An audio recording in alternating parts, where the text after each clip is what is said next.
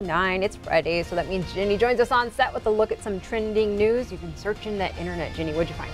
Well, I know sometimes our I guess our excitement is a high-speed chase in the newsroom. Oh yeah, we're all that about the us pumped- high-speed chases. Blood pumping, yeah. Well, this one is going to be a little bit different than any other high-speed chase you may have seen before. It's a high-speed turkey chase. Uh, he isn't going to end up on a dinner table anytime soon for any Thanksgiving dinners. Or she, pardon me. Her name is Edna. She has been relocated to the New Hampshire wilderness um, after causing weeks of disturbance in Massachusetts. Police say that people have been spotting Edna for more than a month calling in concerns that she would cause a traffic accident.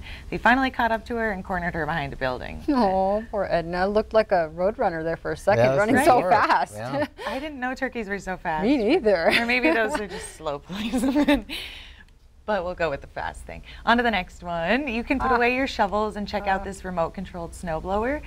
Dave Coutron, an engineer at MIT, says he doesn't like being out in the cold, so he built the snowblower last winter. Man. The googly eyes are just for fun. He says it took, took him three months to build, and it's purely electrical. There's no engine.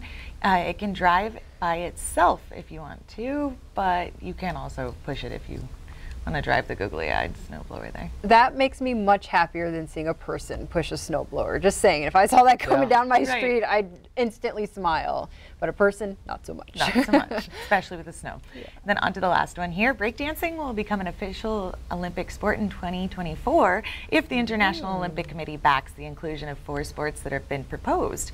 Uh, the other events that are being considered for inclusion are surfing, climbing, skateboarding, and they are slated to make their debut in 2020.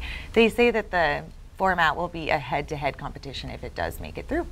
I think those those activities definitely take uh, strength and talent, and uh, that's not a bad idea. Right, that Right. interview we had with those guys here that day, I cannot do any of that. I heard uh, Ed has a mean windmill and even a worm, a great worm.